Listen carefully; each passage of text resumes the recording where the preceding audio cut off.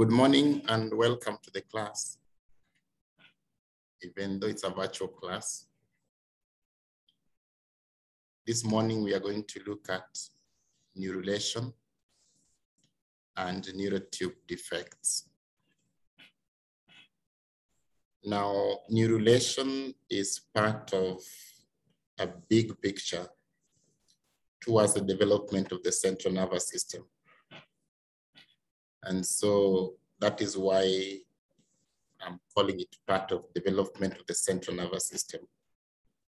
So in this particular one, we are not going to look at the whole of the central nervous system. We are just going to look at the process of neurulation and the disorders associated with that are called neurotube defects. We'll also look at them.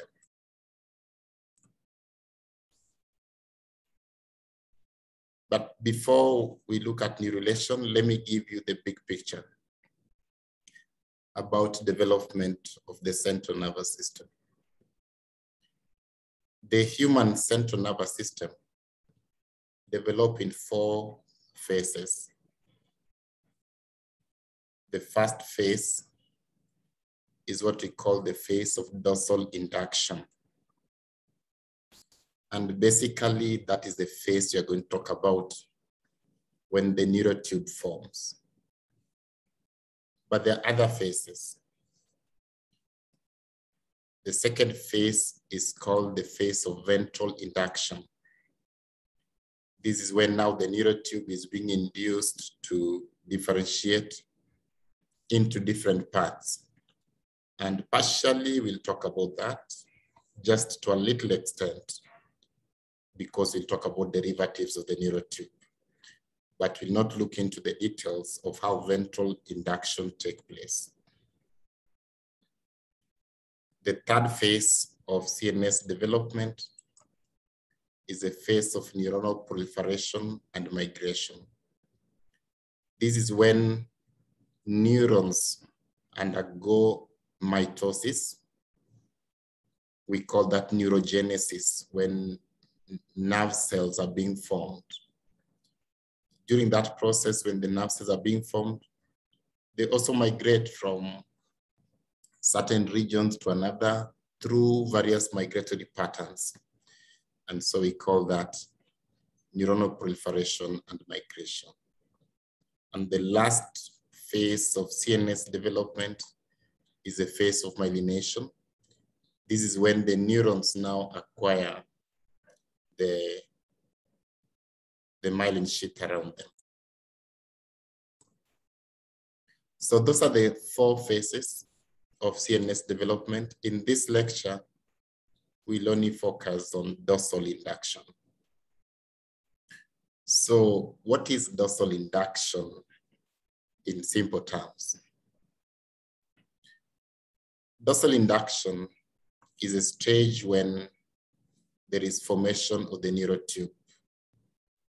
The process of forming the neurotube is what we call neurulation.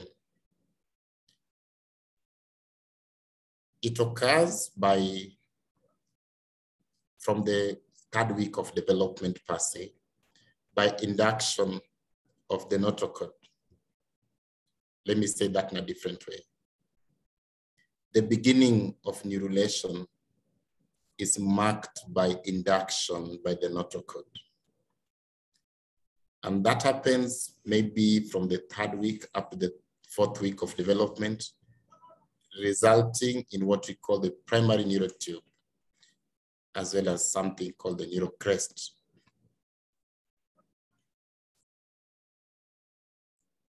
And in this lecture, we are going to see what is neurotube and what is neurocrest. However, that's not the only thing that entails dorsal induction. The most caudal portion of the neurotube undergoes neurulation through a different mechanism. We call that mechanism secondary neurulation. And again, we are going to see how it happens. Now, while primary neurulation take place in the period between the third and the fourth week of development. Secondary neurulation is usually not completed until the second month. Very interesting. So anyway, that is what dorsal induction entail when you talk of the first phase of CNS development. So when you talk of neurulation, I've told you is a process of formation of the neurotube. The neurotube is the embryonic primordium of the central nervous system. And when you talk of central nervous system, we are primarily referring to the brain as well as the spinal cord. The main process, which is primary neurulation, occurs in the third to the fourth week, as I've already told you. But secondary neurulation lags up to the second month. So we are going to describe primary neurulation and we're going to describe secondary neurulation in this particular lecture. the primary neurulation itself is the one that is directed by the notochord. And we are going to see why the notochord cannot direct secondary neurulation, but it directs primary neurulation. So having said the many things I have said, perhaps it's the best time to now give you the learning outcome. Our first agenda would be to talk about how the notochord forms. We're also going to see the functions of the notochord and eventually see the fate of the notochord. After we've done that, we'll then describe the processes of primary as well as secondary neurulation. Now that will give us what we call neurotube and neurocrest. And then we'll then outline the derivatives of the neurotube. In embryology, when you talk of derivatives, it means what does that thing become basically. So we're going to see what neurotube becomes and what neurocrest becomes. Our last agenda will be to define what we call neurotube defects. And we'll cite a few examples of neurotube defects. So straight away, let's begin with the first agenda, which is to look at the NOTO notochord. The NOTO notochord is a special cartilaginous structure. This special cartilaginous structure lies within the mesoderm layer of the gastrula. I believe you already know what the trilaminar embryo is, or the gastrula, which has three layers, basically. The ectoderm, in this image, it's blue. Mesoderm is that middle layer, and endoderm is the lower layer, the one that's yellow there. So this notochord lies in the mesoderm layer. It's a special cartilage structure.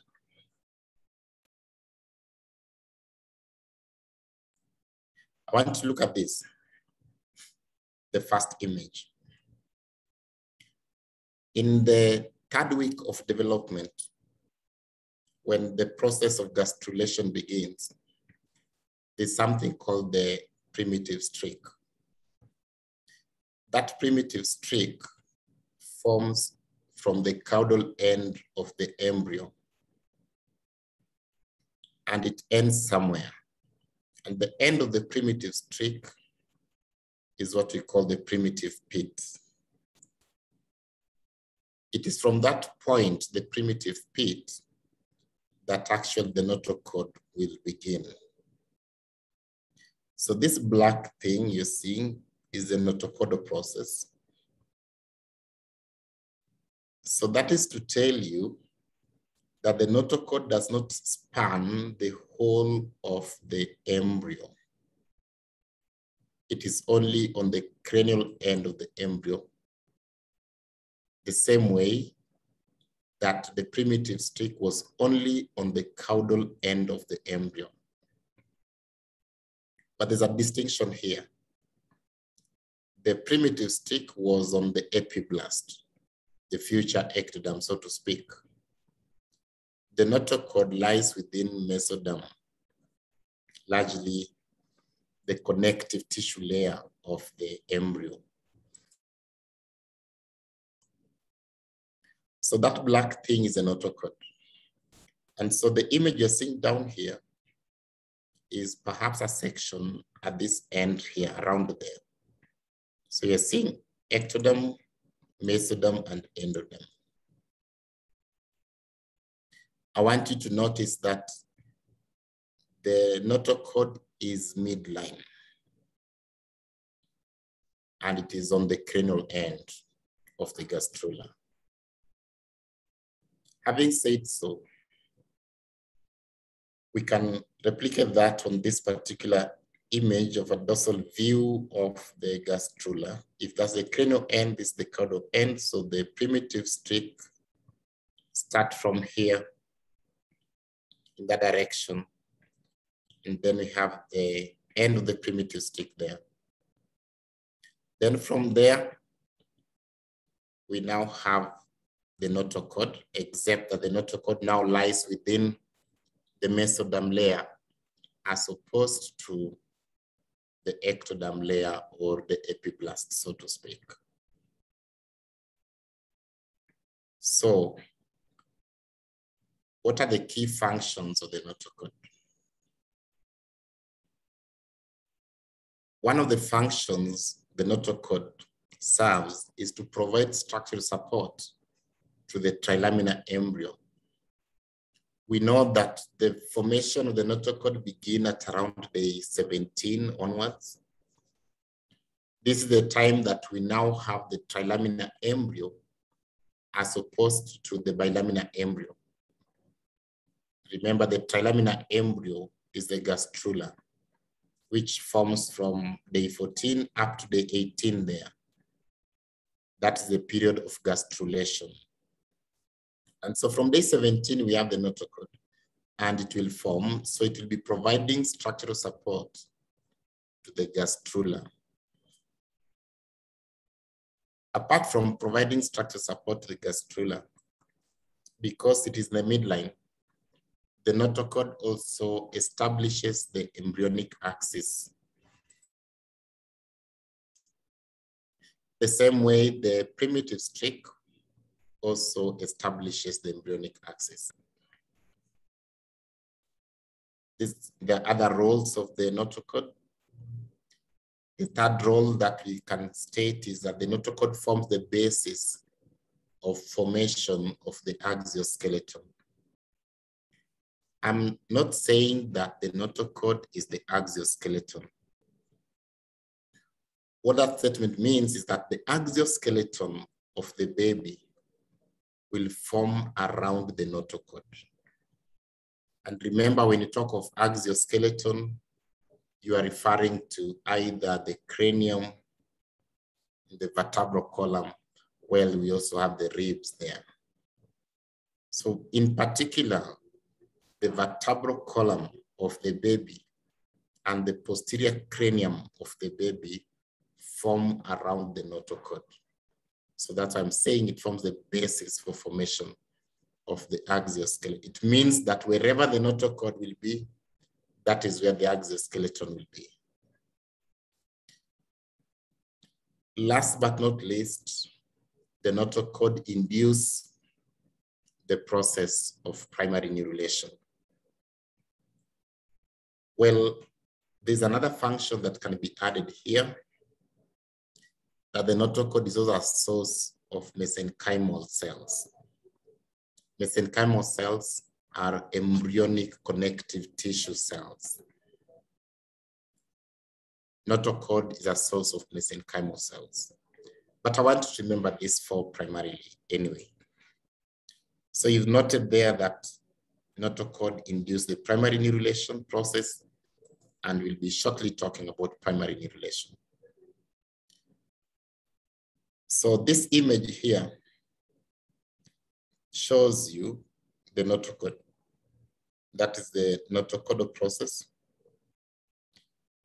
And these other structures here, if you remember, they represent the somites, which form on either side of the notochord. Remember, somites are part of paraxial mesoderm. The paired cubes that form on either side of the notochord, we call them somites, but they're part of paraxial mesoderm.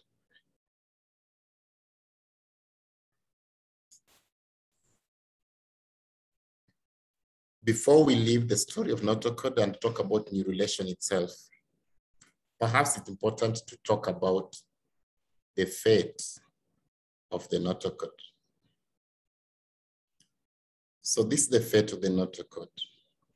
A big part of the notochord will disappear after the notochord has served its key functions. However, not everything disappears. The parts that don't disappear, the parts of the notochord that don't disappear are some small segments which become incorporated into the developing intervertebral discs of the fetus. I hope you remember what intervertebral discs are. They are joints between adjacent vertebrae. So this is how the vertebrae form. You can see this big thing here called sclerotome. Remember sclerotome is part of the somite. The paraxial mesoderm, okay, let's go back fast. Intraembryonic mesoderm has three parts. Lateral plate mesoderm, intermediate mesoderm, and paraxial mesoderm.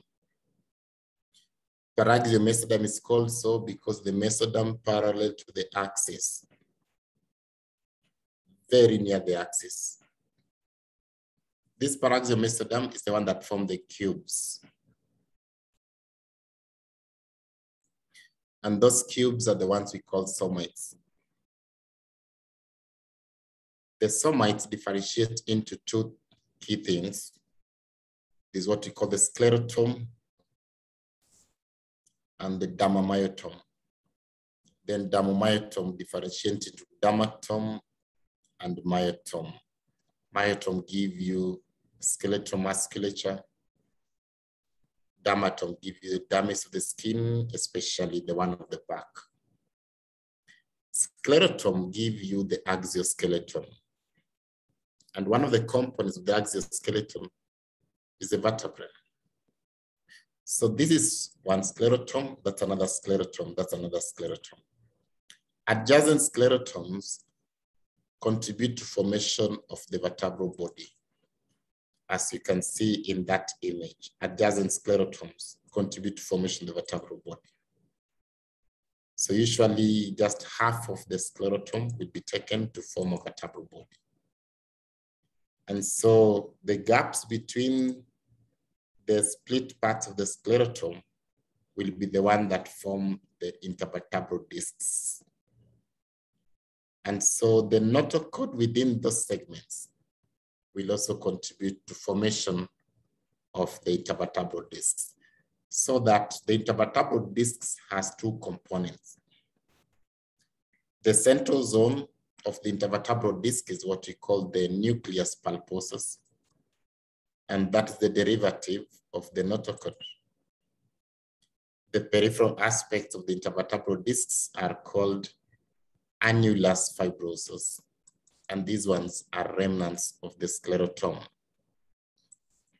So nucleus pulposus is just a, a type of connective tissue, you call it mucous connective tissue.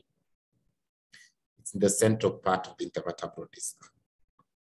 The outer parts, annulus fibrosus, are derivatives of the sclerotome. You'll say much about that when you look at development of the exoskeleton some other day. So that summarizes for us the fate of the notochord.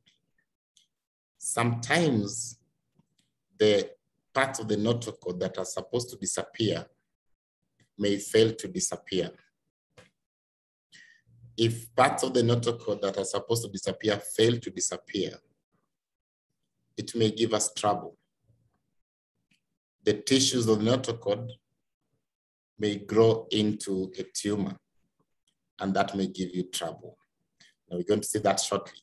Okay, there's an image here that shows you the vertebral column. That's the intervertebral disc, and that, those are the vertebrae.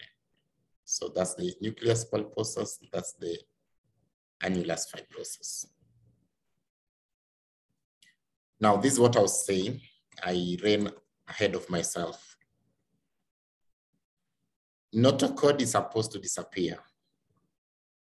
But if some parts that are supposed to disappear fail to disappear, the cells of the notochord may grow into a tumor. Those tumors are called chordomas. One unique thing about chordomas that they are midline tumors.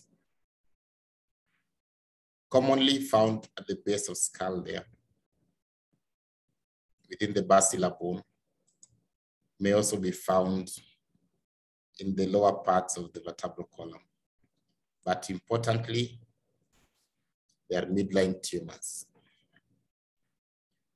All right, so that is the first agenda, the notochord.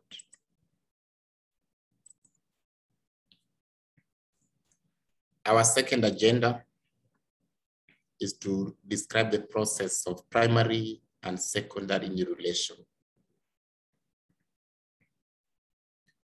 I want you to look at this image so that we are able to understand what is primary neurulation and what secondary neurulation. This is the embryo. We look at the embryo from the top. At around the time that the primitive streak has already formed and gastrulation is taking place or has just been completed.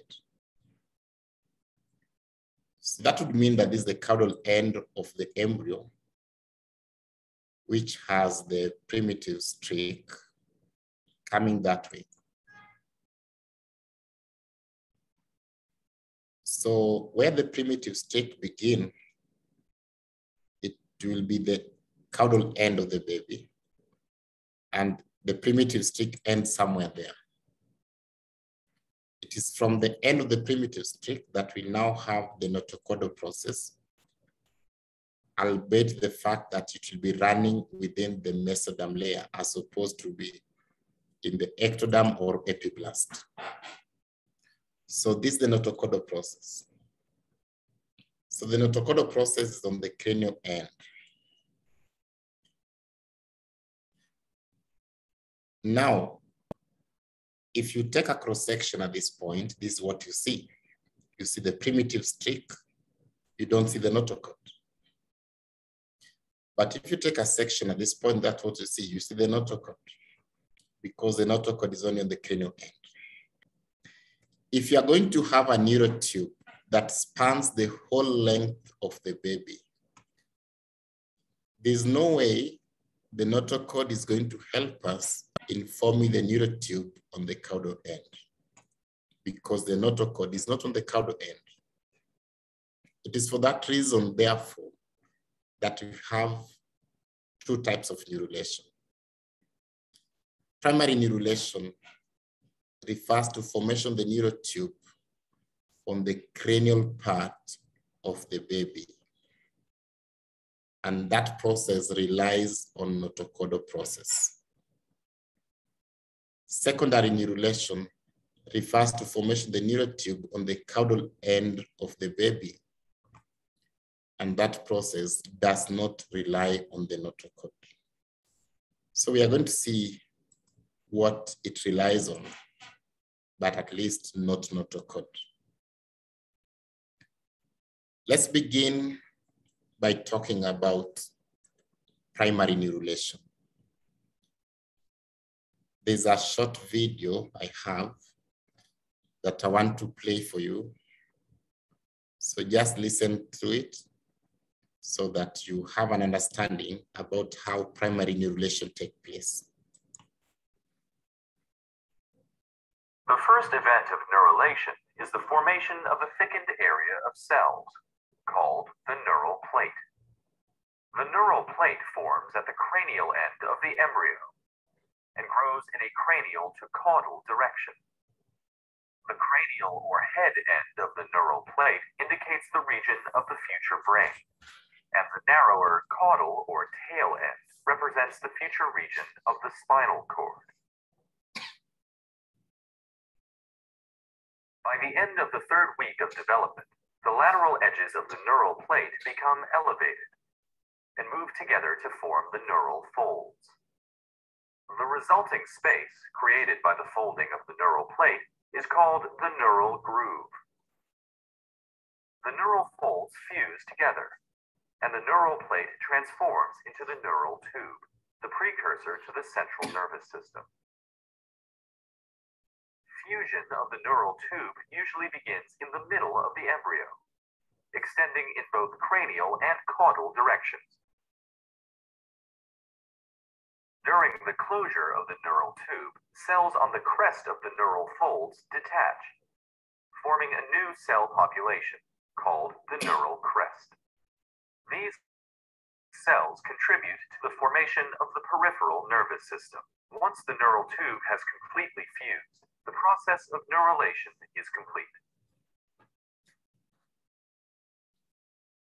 All right, that's it. Let's see that in a different way. I'll just recap what that video has shown you, but in a different way. So we've noted that the trilaminar embryo has the ectoderm, mesoderm layer, and endoderm.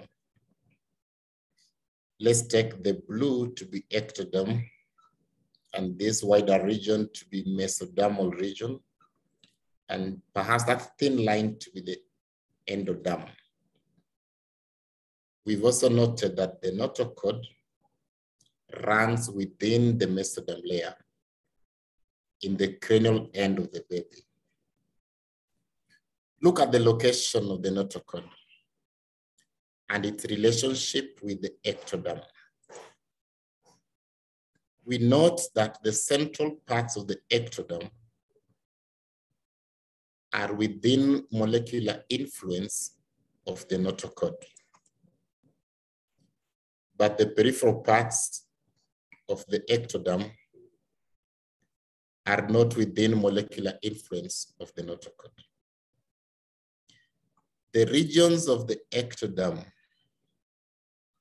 which are within molecular influence of the notochord, become induced by the notochord to form what we call neuroectoderm.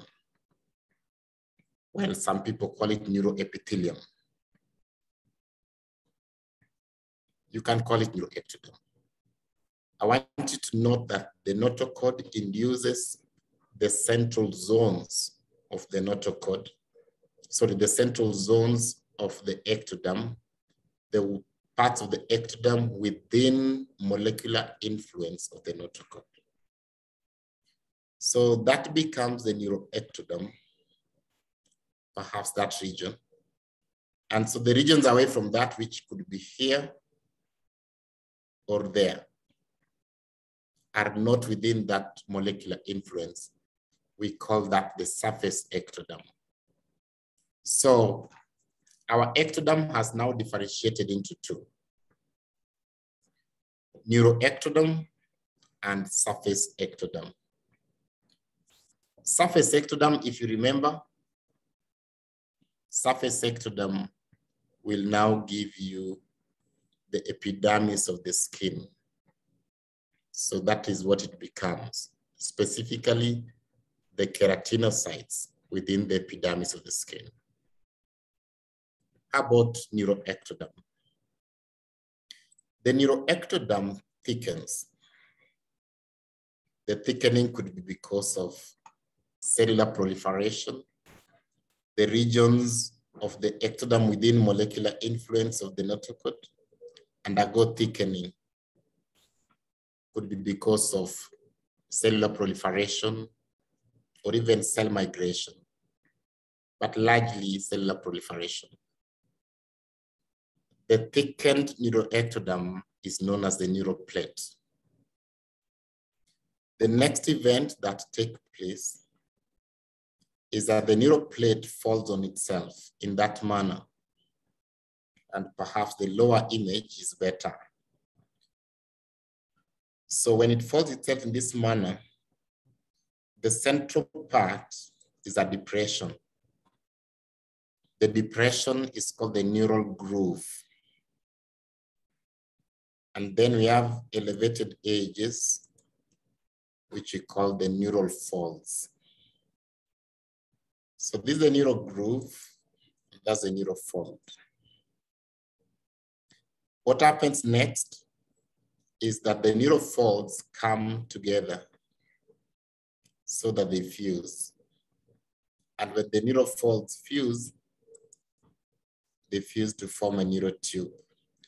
From the video, you noted that the fusion process begin from not at one end, but in the middle, although that middle actually corresponds to the region of the neck of the baby. Now, from that middle, which corresponds to the neck of the baby, the neurotube, the neurofolds fuse in a cranial direction and caudal direction like a zipper. So it closes in a zipper manner. What you'll have is a tube. Even though the folds fuse to form the tube, not all the cells which were part of the plate, look at that part. See, when the folding occurs, this is the part that will be elevated. But the, all of this up to there was part of the neuroectoderm. So what happened? The folds are the ones that will fuse. The edges of the folds will separate from the tube. They break off. The cells of the neuroectoderm that break off from the neural folds are the ones we are calling the neural crests. So these ones are neural crests. If we say that in a different way, using these images, the first event was induction by the notochord. That's the notochord which induces overlying ectoderm to become neuroectoderm. The neuroectoderm thickens to form the neuroplate and the, well, first of all, we have formation of the neuroectoderm and the surface ectoderm. So surface ectoderm becomes the epidermis of the skin. Neuroectoderm is what will become the nervous system. The neuroectoderm thickens to form the neuroplate. Then the neuroplate falls on itself so that that central region is called the neural groove. And uh, the edges are called the neural folds, or in this one, neural groove and neural folds. The folds come together in a zipper manner so that we form a neural tube, which is there, and neural crest. These images will be better in showing us neural crest. So we have the neural groove there, neural folds. Now we have neural tube and neural crests.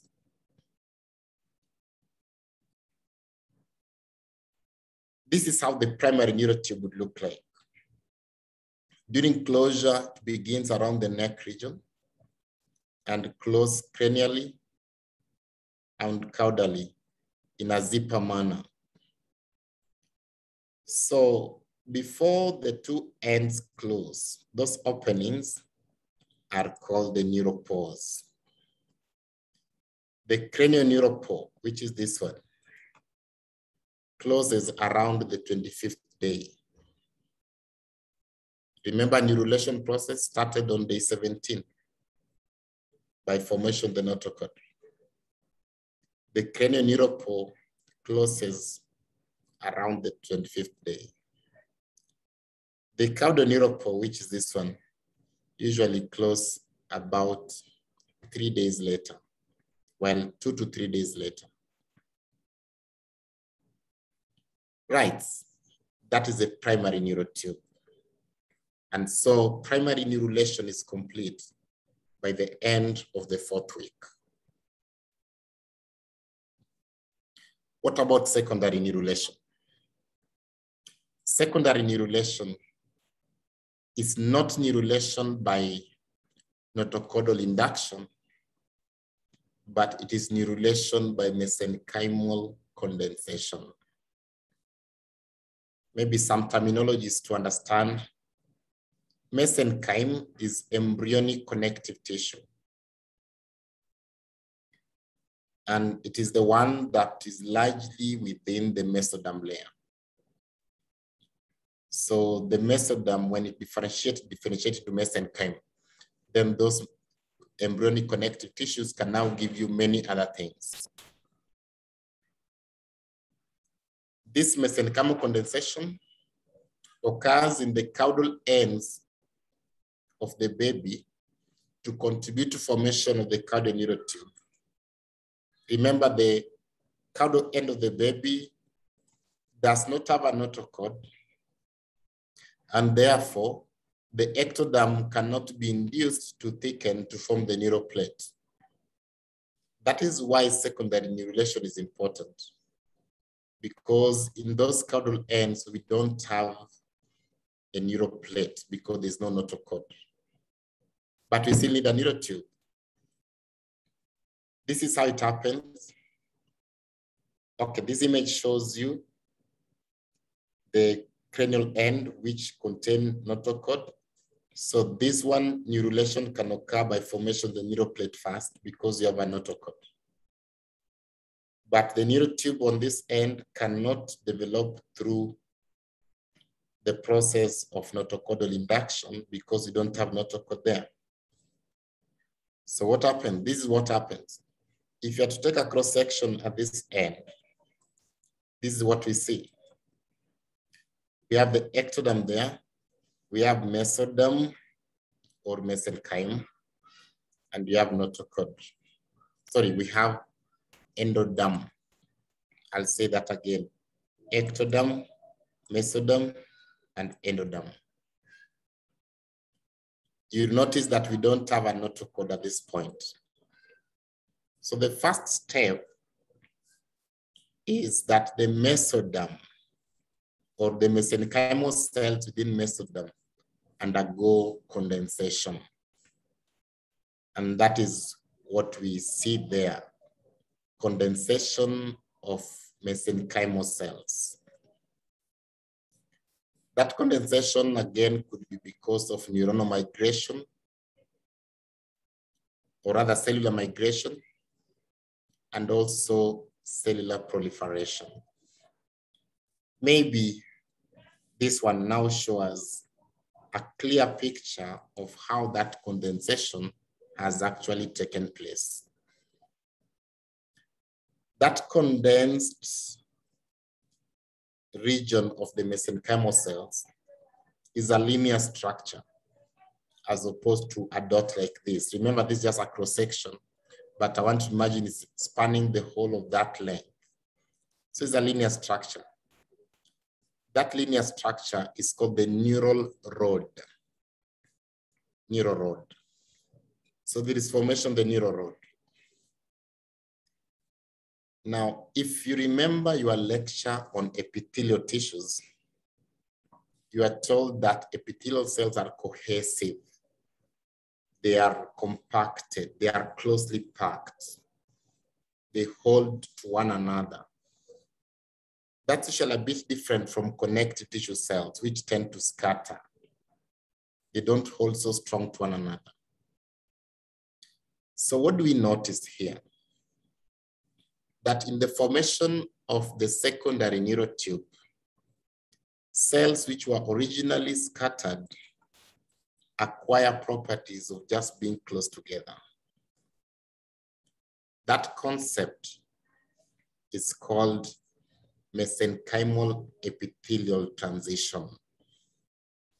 the cells which undergo secondary neurulation undergo the process of mesenchymal epithelial transition. They transit from mesenchymal characteristics, scattered migratory, to epithelial characteristics, cohesive, compacted. And so when we have the neural rod, the cells there have actually already undergone mesenchymal epithelial transition. Don't confuse with epithelial mesenchymal transition, which we see in other cells. In, but in this case, we are seeing mesenchymal epithelial transition. The next thing after formation of the neural rod is that the central part of the neural rod undergo cavitation. Cavitation here simply means that the cells at the center of the neural rod die through the process of apoptosis. And so a cavity forms at the center of the neural rod.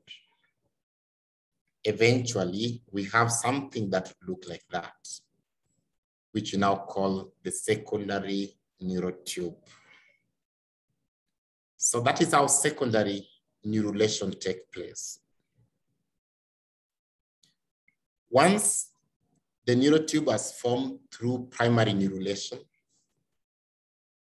for the cranial end of the neurotube and secondary neurulation for the caudal end of the neurotube. Let's see that in the first image here. So assume this is the primary neurotube. This is the cranial end, that's the caudal end of the primary neurotube. And that is perhaps the secondary neurotube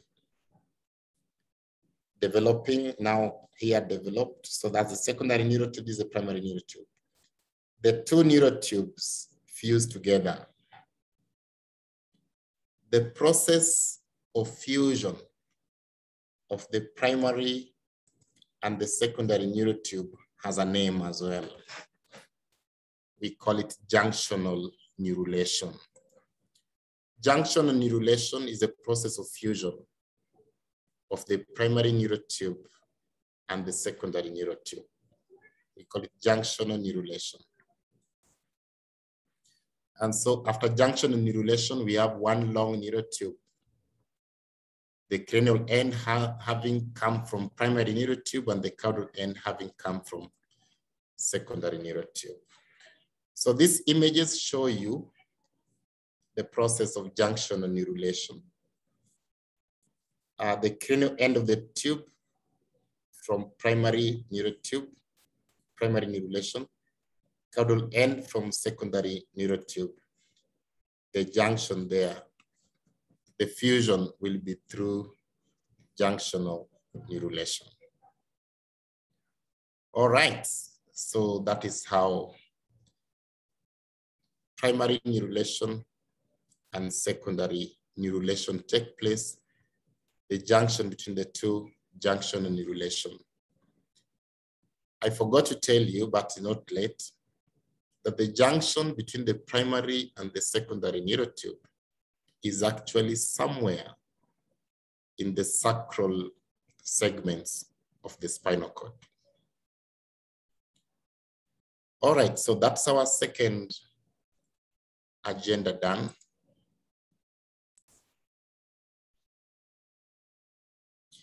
Our third agenda is to look at the derivatives of neurotube as well as derivatives of the neurocrest.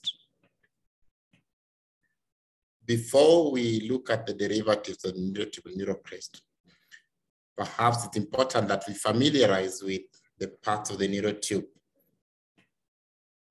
in terms of cross-section. So immediately the neurotube is formed, it will be looking like this. We can see that uh, the wall is made up of compacted cells. Remember, epithelial.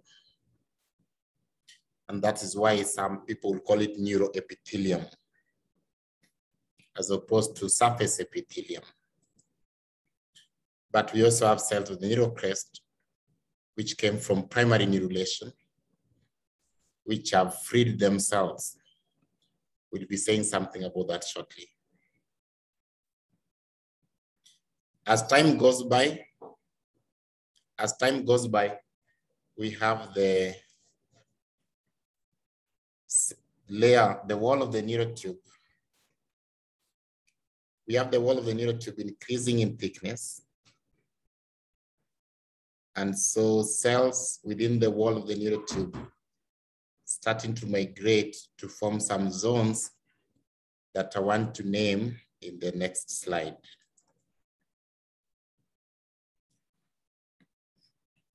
Look at it this way as well. So that is the neural tube that is forming just before closure. The wall is very thick. It's epithelium. The neuroepithelium is largely a pseudostratified columnar epithelium at the beginning. And remember when you say pseudostratified columnar, it means that you basically have a mixture of short and tall cells, but all of them rest on the basement membrane. Beyond that pseudostratified columnar epithelium, there'll be now some zonations later. It will eventually be actually stratified. The types of cells which are within the neuroepithelium at this point differentiate into two. There are those ones that become neuroblasts. Neuroblasts are the ones designated to become the neurons. Remember, those are the functional cells of the nervous tissue. Then you have the glioblasts. Glioblasts are the cells designated to become the supporting cells of the nervous tissue, what we call neuroglia. So at this point, they are present, both of them, in this particular epithelium. There's a population of glial cells that differentiate very early. We call them the radial glial cells. The radial glial cells differentiate very early from this particular epithelium. And those radial glial cells are important in subsequent migration of the neurons.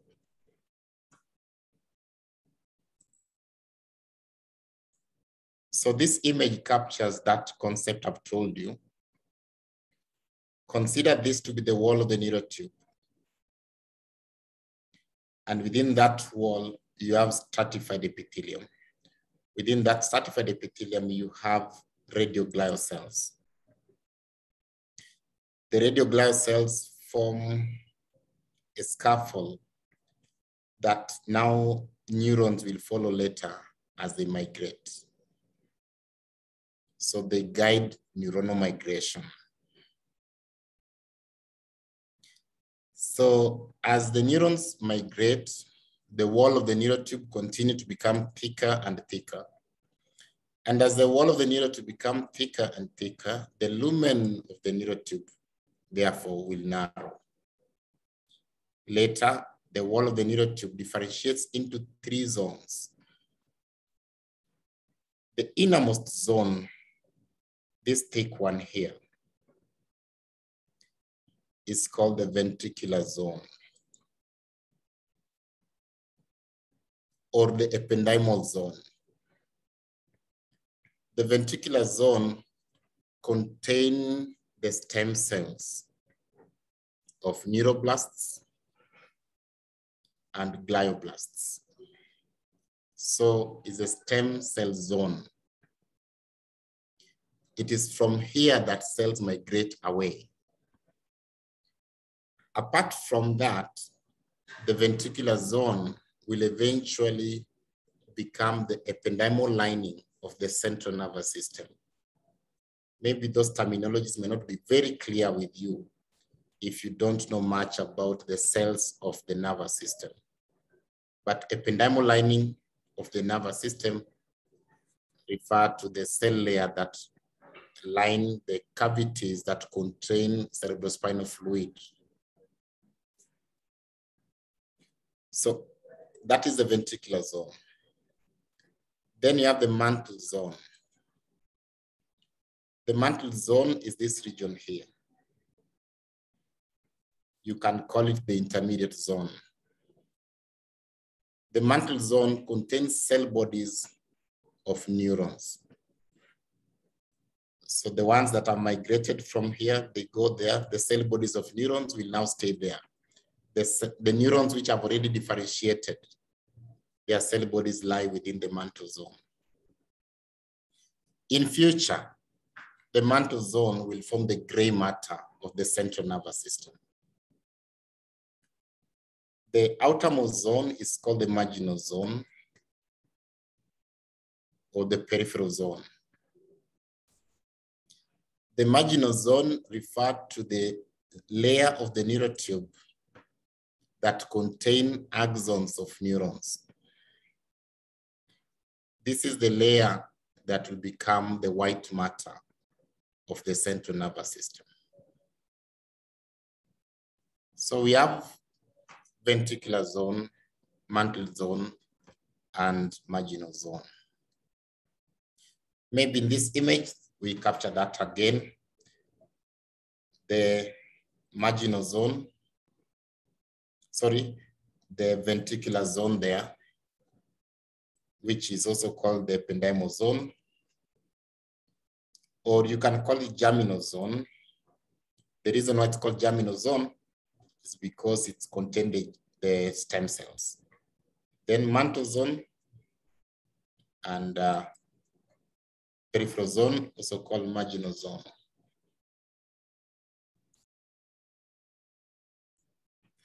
Look at what happens to the mantle zone. The mantle zone of the neurotube forms some cube-like swellings, two pairs one pair ventrally and one pair dorsally. Let's give names to those pairs in the next slide. So in this next slide, we see if this is the ventricular zone. This colorful region here is the mantle zone, and this is the marginal zone. So the marginal zone is the peripheral zone, giving you white matter. That's where axons of neurons will lie. This is ventricular zone, which originally contained the stem cells, now remaining as the ependymal lining of the central nervous system. The middle zone, the intermediate zone, which we call the mantle zone, has differentiated into two pairs of cubes. The ventral pair of cubes is called the basal plate. the basal plate give rise to motor neurons, which arise from the central nervous system. Motor neurons, efferent neurons arising from the central nervous system to go to the peripheral nervous system.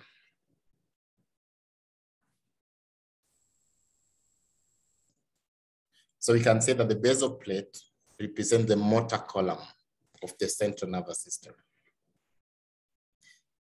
The dorsal pair of cubes is what we call the alar plate.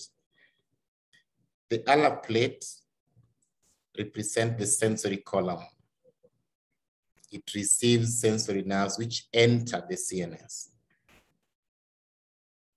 The junction between the motor column and the sensory column here is known as the sulcus limitans. Sulcus limitans is the junction between sensory column and the motor column. The roof plate is a junction between the right and the left alar plate, while the floor plate is a junction between the right and the left basal plate. Those are the parts of the neurotube in cross section. So the whole neurotube, what does it become? The image here shows you the primary neurotube. But let's assume it was the whole neurotube. What does it become? the cranial two-thirds of the neurotube, which means from somewhere there all the way to somewhere there. Cranial two-thirds. The cranial two-thirds of the neurotube give you the brain. The caudal one-third of the neurotube is the one that gives you the spinal cord. Now don't confuse and start arguing the spinal cord is very long, so it should take the longer length. That might sound logical, but not quite because we are looking at the mass of the tissue being formed per se, rather than the length of the tissue being formed. So the cranial two thirds of the neurotube become the central nerve, sorry, become the brain, while the caudal one third of the neurotube become the spinal cord. So you will be wondering then there was primary neurulation and secondary neurulation. It means that the secondary neurotube contribute to the lowermost end of the spinal cord, largely the sacral spinal cord, while the rest of the spinal cord, cervical segment, thoracic segment, lumbar segment, and even sacral one largely come from the primary neurotube. So what come from the secondary neurotube will be more of S3 downwards. S2 is the region of the junctional neurulation. The part of the neurotube that becomes the brain, what happens to it? The part of the neuron, neurotube that becomes the brain develops three swellings. And these swellings now will be now under what we call ventral induction. If you remember the second phase of CNS development, ventral induction. The cranial two thirds of the neurotube undergo ventral induction to form three swellings. We have the forebrain swelling, midbrain swelling, and the hindbrain swelling. And they'll give us those things. So forebrain swelling will give you the forebrain, midbrain swelling gives midbrain, and hindbrain swelling gives the hindbrain. Forebrain is called prosencephalon, and that's what refer to the cerebrum in particular. Rhombencephalon is the hindbrain, and that refers to cerebellum, pons, and medulla oblongata. You'll talk about that more when you look at development of the central nervous system as an organ per se, developing the brain itself. So for now, we can leave it there that the cranial part of the neurotube give you the brain, which has three swellings, forebrain swelling, midbrain swelling, and hindbrain swelling. Usually the wall of the tube is what will give the brain tissue and the cavity of the tube will give you the ventricular pathway or a CSF pathway, so to speak. How about neurocrest derivatives? Before we talk about derivatives of neurocrest, it is important that you realize some characteristics of neurocrest. Remember, they were neuroepithelial cells, which means they were cohesive cells attached to one another. But when primary neurulation took place, they broke off from the neural folds. So the edges of the neural plate broke off. That act of breaking off tell us something about neurocrest it means they lose their characteristics of being cohesive or compacted to now being scattered. Neurocrest cells undergo epithelial mesenchymal transition. So this is the opposite of what happened in secondary neurulation, which is mesenchymal epithelial transition. The neurocrest cells undergo epithelial mesenchymal transition. And having undergone that transition, neurocrest cells are now having some properties. One of them is that they're migratory. It means they can move a lot, they migrate a lot. And second property is that they're multipotent cells. What does that mean? It means that they have the capacity of becoming multiple tissue lines, as we're going to see here. So neurocrest cells give you many things. In the peripheral nervous system, neurocrest gives you a lot of things. We can name a few. It will give you the Schwann cells of the peripheral nervous system. These are the cells that form the myelin sheath around neurons. It will give you satellite cells within the peripheral nervous system. These are the cells that surround cell bodies of neurons in the peripheral nervous system It will give you the pseudounipolar neurons, which are sensory neurons, basically. So sensory nerves, like those sensory nerves you, you might be already knowing in the body, they come from neurocrest cells. It also gives you what we call postganglionic autonomic neurons. Postganglionic autonomic neurons. maybe a concept you need to understand about autonomic nervous system is that the peripheral processes for, for autonomic nerves are two. There's a preganglionic and the postganglionic neuron. The preganglionic neuron arises from the central nervous system. So that one will be a derivative of the basal plate of the neurotube because it's motor but the postganglionic autonomic neuron is entirely outside the central nervous system. That one comes from neurocrest. It could be postganglionic sympathetic neurons or postganglionic parasympathetic neurons. Apart from that, having said so, it therefore means that neurocrest also gives us what we call autonomic ganglia autonomic ganglia refer to collections of cell bodies of the postganglionic neurons. That's what we call autonomic ganglia. They could be parasympathetic or they could be sympathetic. But those ganglia come from neurocrests. Apart from that, the ganglia of sympathetic nervous system tend to form tend to be interconnected on either side of the vertebral column to form what we call the sympathetic chain. So that sympathetic chain is also a neurocrest derivative. Some cells of the neurocrest migrate into the wall of the digestive system to form a nerve plexus around the wall of the digestive system that nerve plexus around the wall of the digestive system is what we call the enteric nervous system. There are two plexuses there.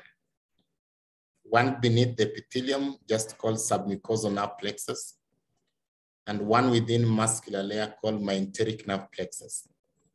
The two of them are components of enteric nervous system, and they also come from neurocrest. All those are derivatives of neurocrest cells within the peripheral nervous system. Then we have derivatives of neurocrest cells within the skin. So what does neurocrest give us within the skin? Neurocrest give us the pigment cells of the skin. We call them the melanocytes. These are the pigment cells of the skin melanocytes. Apart from that, neurocrest also give us the Merkel cells of the skin, M-E-R-K-E-L, Merkel cells of the skin. These cells are tactile receptor cells in the skin. And of course, the sensory nerves within the skin also come from neurocrest. That's okay. In the endocrine system, what does neurocrest give us? Neurocrest cells give us the chromaffin cells. These chromaffin cells are the ones which produce the adrenaline hormone. So they're adrenaline secreting cells.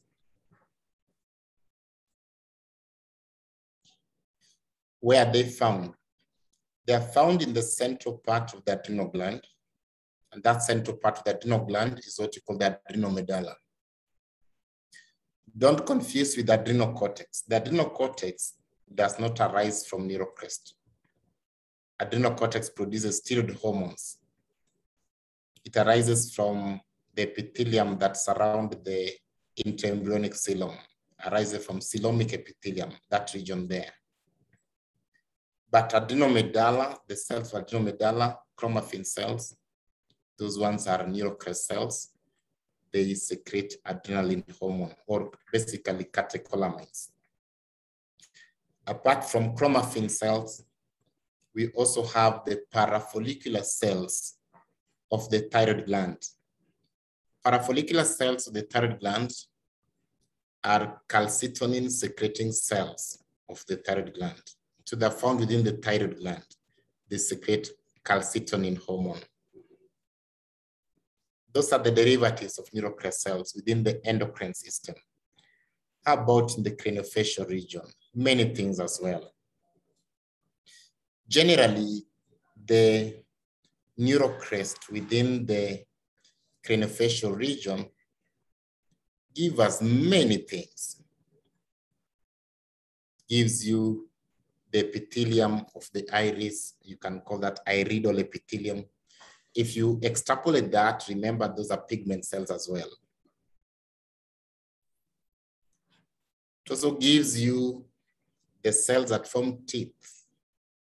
We call them odontoblasts. But let me put it this way. The neurocrest that goes to the craniofacial region contribute to formation of mesenchyme of the craniofacial region.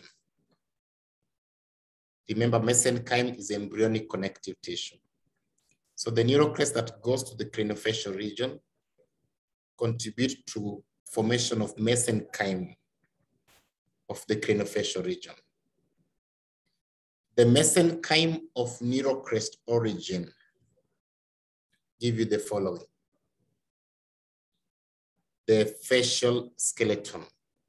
So the bones of the face, as opposed to the posterior cranium.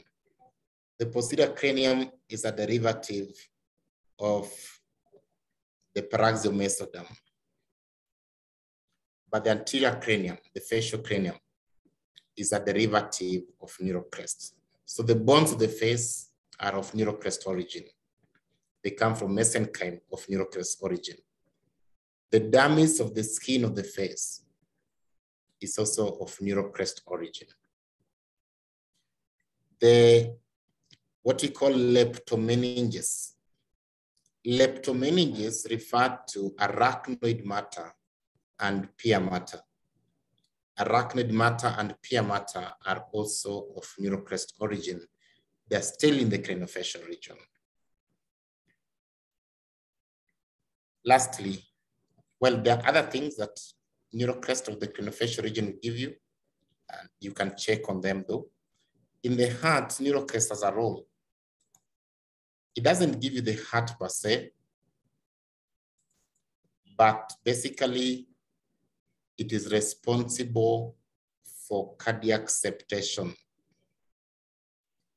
the splitting of the heart into chambers, and especially the splitting of this embryonic structure that give you what we call the aorta, ascending aorta, and the pulmonary trunk. Initially, those two vessels are one. The vessel arising from the right ventricle, pulmonary trunk, and the one arising from the left ventricle aorta. Initially, it's one channel. Then the cells of neurocrest contribute to the septation of that region so that we have those two vessels separate. Okay, so in this image here, I think you can still see that. Now, this classification of neurocrest, I find it a bit confusing and I don't like it so much because this classification does not tell us where those neurocrests are going, but basically where they are at the beginning. And can be very confusing because we've already agreed that neurocrest cells are migratory.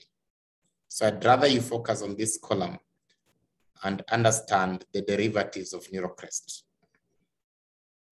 As opposed to you focusing here, then you get lost. In the craniofacial region, this slide will show you the derivatives of neurocrest in the craniofacial region, the ones that I didn't talk about.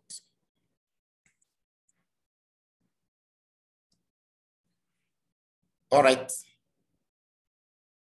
That was the third agenda, derivatives of neurotube and neurocrest.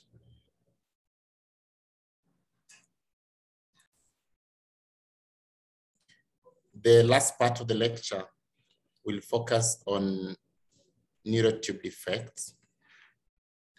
We'll define what they are and we'll cite some examples of neurotube defects.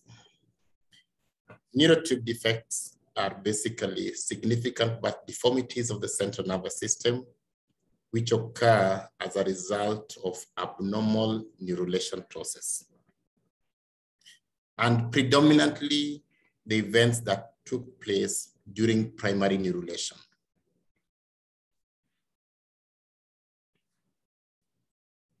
Now, they develop when a portion of the neurotube failed to close normally during the process of neurulation. So if there's a, a portion of the neurotube that has not closed appropriately, we may have a neurotube defect. However, the malformation that we see does not just limit itself to the neural axis. The malformation that we see involves the axial skeleton which means can involve the vertebral column or the cranium. But yes, they also involve the neural axis. They also involve the other components around there. So think about them. The skin, the adipose tissue around, the musculature around, and especially if you think about the vertebral column, there are some muscles around there. They're all affected the risk factors for development of neurotube defects would be usually associated folic acid deficiency. There are some genetic factors that have also been noted to contribute. If the temperature of the mother was very high at the time of neurulation, that may also affect. Mothers who are diabetic and those who are obese are also at high risk.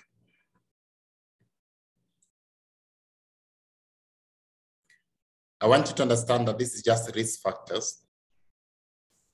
It's like saying smoking is a risk factor for development of lung cancer. It doesn't say if you smoke, you'll definitely get lung cancer. And it doesn't say if you don't smoke, you can never get lung cancer. However, if you are to look at 100 smokers and you look at 100 non-smokers and follow them up and look at the occurrence of lung cancer in those two groups, the people who have smoked, there'll be more cases of lung cancer in that cohort compared to the people who are non-smokers. So that's how we want to understand risk factors. So in this case, folic acid deficiency is a risk factor for development of neurotube defect. It means that mothers who are lacking in folic acid are at a higher risk of delivering a child with a neurotube defect compared to mothers who don't have folic acid deficiency. But there's a challenge then. And the challenge is this. Neurulation takes place from day 17 onwards, following conception. That time, a woman does not even know that she has already conceived. Maybe she's saying the, the periods are delayed, but maybe she's still hopeful so you not made a diagnosis of pregnancy yet, yet neurulation is taking place. So it means that it's very hard to know that the time of neurulation so that we supplement folic acid. So this is what we do in practice. If a mother delivers a child with folic acid, sorry, if a mother delivers a child with neurotube defect, to prevent that from taking place. Because now if that happened, possibly she has folic acid deficiency.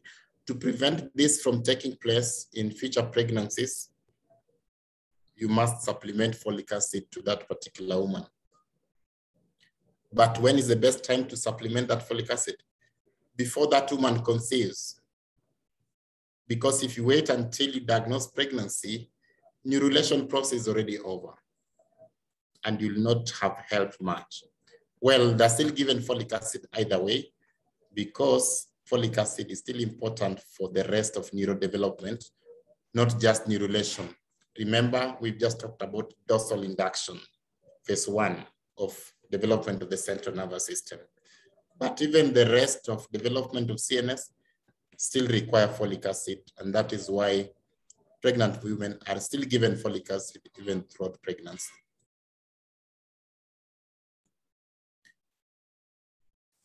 Great. So I want you to capture the risk factors for development of neurotube defects.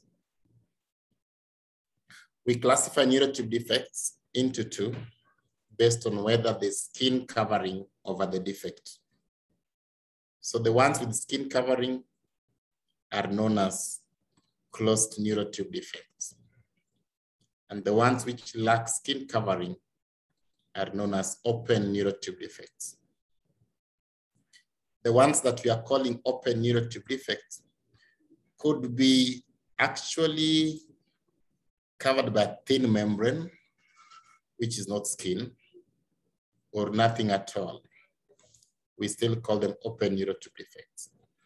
We can also classify neurotube defects depending on where, where they occur. The ones involving the spinal cord will affect the vertebral column we call them spinal dysraphisms. And spina bifida is an example of spinal dysraphism. The ones affecting the brain involve the skull, we call them the cranial defects. And I'll give you examples of both.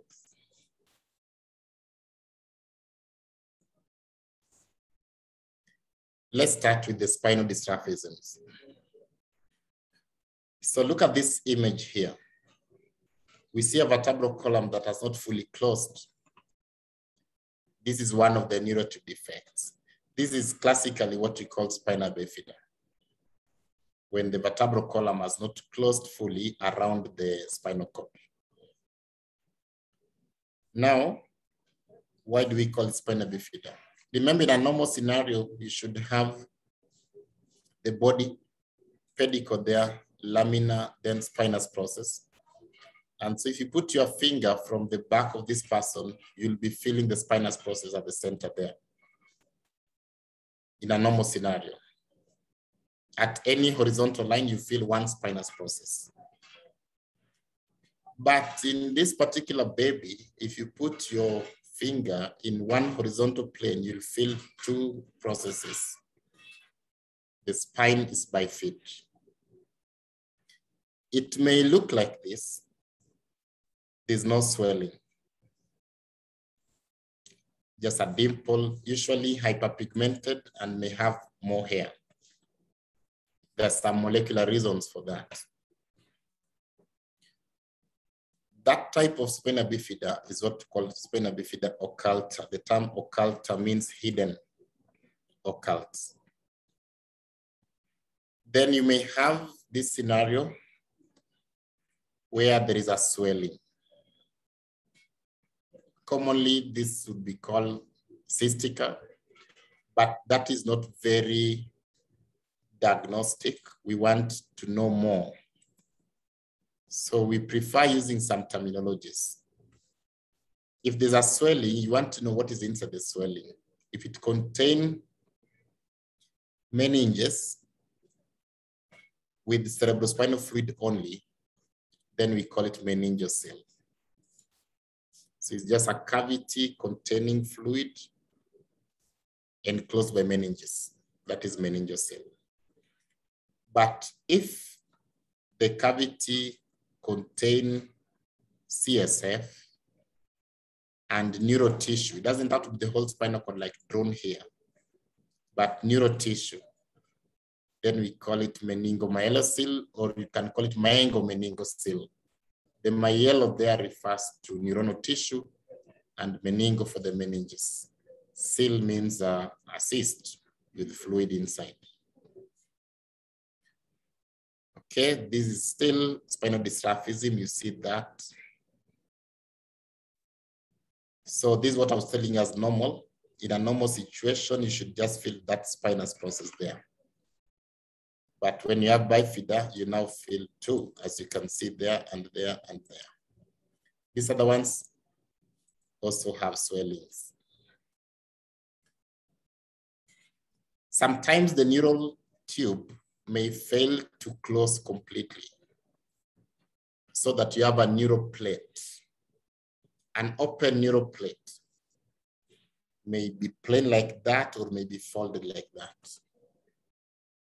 If this open neural plate occurs on just a small segment of the vertebral column, it may look like that. And that is what we call rachis The term rachi, the first five letters there, refer to the vertebral column, the spine. Then the other six letters there, schisis, mean open or split. So split spine, rachis It may involve the whole of the neural axis, that the neural plate is persistent in the whole of the neural axis. So both cranium as well as spine. And that is what we call craniorachis perhaps one of the most severe forms of neurotube defects.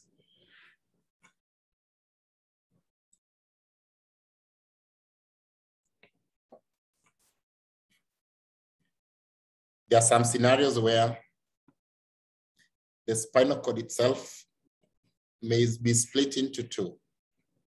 Something splitting it into two. So there's a bone that goes through to split it into, as you can see in these axial images of the vertebral column, or in that sagittal image of the vertebral column.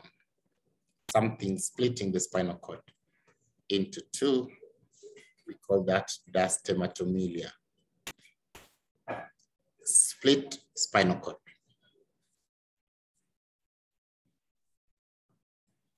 So those were spinal dysraphisms. Now let's talk about the cranial defects. Remember, there are neurotube defects still. There are disorders of dorsal induction. And we agreed dorsal induction is neurulation. So basically, there are disorders of neurulation. One of them The one shown here is called anencephaly. This occurs following complete failure of closure of the cranial cranioneuropore. So if the cranial cranioneuropore fails to close completely, we get this one, which we call anencephaly. It may simply mean absence of the brain, but uh, in actual sense, the part of the brain that is lacking is largely the forebrain. The brain stem is still intact. Remember, forebrain, midbrain, hindbrain. So usually the hindbrain would still be there, but the forebrain is the one lacking. But we still call it anencephaly. This one is not compatible with postnatal life. So these babies cannot survive postnatally. These images show you images of uh, babies with anencephaly. The brain has not developed, and especially the forebrain, so we can see just the hindbrain is intact. Now, usually when the brain does not develop, it may also affect the skull. So here, even the skull is missing, as you can see. Apart from anencephaly, we also have what we call cephalocele. Cephalocele are similar to meningoceles that we just talked about when we talk about spinal dysraphism. They are less severe disorders and uh, they include what we call meningocele that I've just told you and what we call encephalocele. So what are they? They are protrusions of meninges, and that is what we call meningocele, or protrusion of brain tissue, and that's what we call encephalocele, through a congenital defect on the skull and dura mater. So there's a defect on the skull. You know, the same way if there was a defect on the vertebral column, meninges would protrude, and you call that meningocele in the, the spina bifida. So consider a similar scenario for spina bifida, but now for the skull. There's a defect in the skull. Through that defect, meningeal tissue protrude, of course, with, with CSF, we call that meningocele. Or brain tissue also protrudes, and we call that encephalocele. So those are cephaloceles. They are milder compared to an anencephaly. This is how they look like. We name cephaloceles according to their location. So like this one, it's in the occipital region. You'll call it occipital encephalocele. This one is in the frontonasal region. So we call this frontonasal encephalocele. That is still frontonasal encephalocele to just show you that yes, the brain tissue is also within that particular swelling. This dark region is the fluid. So if this one was present and this one was not there, we would have called it meningocele. But because the brain tissue has also protruded, we call that encephalocele. These are still encephaloceles. Brain tissue is protruding, and that is the CSF space. This one is still encephalocele, so those two are occipital encephaloceles. Look at this one. This one is protruding through a bone here. Maybe you don't know that bone yet. That's the sphenoid bone. And we don't see brain tissue. We're just seeing fluid. This one is the same as that. So this is meningocele, and it is sphenoidal meningocele. It's on, because of the sphenoid bone. Okay, apart from cephaloceles, we also have what we call Chiari II malformations. What are Chiari II malformations? These are intracranial manifestations of posterior dysraphic defects. What I mean is this. Some things have happened in the neural axis. We have dysraphism. There is spinal dysraphism. If you have spinal dysraphism, it may cause the brain to undergo some malformations. So there are intracranial manifestations of the spinal dysraphisms, if you understand what I mean. For example, let me just put this easily. Usually, the spinal cord will grow slowly compared to the way the brain grows. Sorry, compared to the way the vertebral column grows in terms of elongation. So even though the spinal cord and the vertebral column are of the same length at the beginning, the spinal cord grows slowly, it lengthens slowly. And so the implication is this, that now the vertebral column will be longer than the spinal cord. That means that the spinal cord will be appearing to shorten. And that is why in adults, it will be terminating at the junction between the lumbar one and lumbar two vertebrae. Although at the beginning, the spinal cord and the vertebral column are of the same length. Now, that's normal. The spinal cord should shorten because the vertebral column grow faster. Suppose there is spinal dysraphism that hold the spinal cord down. It means that that spinal cord cannot shorten. So what will happen is that now the spinal cord will be fixed down.